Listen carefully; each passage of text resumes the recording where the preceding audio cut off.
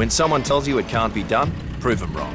This is Australia's only truck with semi-autonomous parking as standard.